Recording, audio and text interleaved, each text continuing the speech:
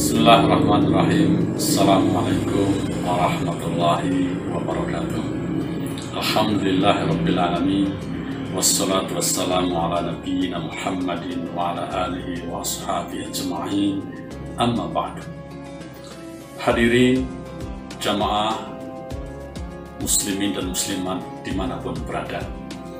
Pada kesempatan yang singkat ini, saya ingin menyampaikan sebuah tema tentang regulasi diri.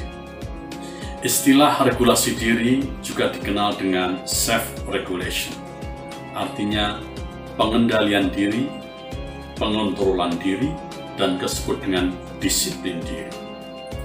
Regulasi diri merupakan aspek yang sangat penting dalam kehidupan manusia, sebab tanpa regulasi diri, kehidupan kita akan kacau balau, tidak teratur, tidak terarah.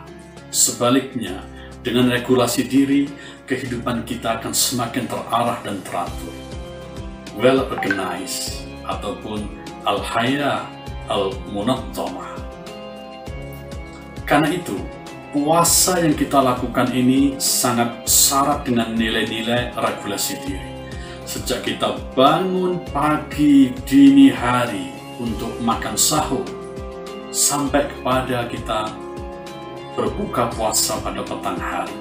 Karena esensi daripada puasa itu al-insan, artinya menahan diri dari makan, minum, dan segala sesuatu yang batalkan puasa. Karena itu, pertanyaannya adalah, bagaimana selama kita puasa satu bulan penuh ini bisa meningkatkan regulasi diri kita? Regulasi diri bisa ditanamkan dengan berbagai cara, tapi salah satu cara yang kita lakukan adalah dengan menanamkan kesadaran beragama, al-wa'yu dini ataupun religious awareness, yaitu adanya muraqabah ataupun pengawasan. Artinya bahwa selama kita hidup ini ada selalu malaikat yang mengawasi perbuatan kita kita tidak pernah luput dari pengawasan Allah, muraqabatullah. Karena itu dalam istilah Jawa kita mendengar Gusti Allah boten sari. Artinya Allah tidak pernah tidur. Wallahu bima ta'maluna basir. Dan Allah maha melihat atas apa yang kamu lakukan, kecil maupun besar, secara terus terang maupun secara rahasia. Karena itu, jangan pernah lupa dan luput bahwa apa pun yang kita lakukan selalu akan diawasi oleh Allah. Hadirin yang berbahagia, ibadah puasa ini merupakan instrumen untuk menanamkan regulasi diri.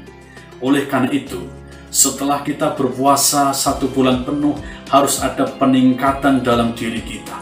Peningkatan disiplin diri, peningkatan regulasi diri, peningkatan disiplin bekerja, peningkatan disiplin belajar, peningkatan disiplin beribadah pada Allah Subhanahu wa taala. Demikian pesan singkat yang bisa kami sampaikan. Semoga bermanfaat. Yang benar dari Allah, yang salah dari saya. Wabillahi taufiq wal hidayah.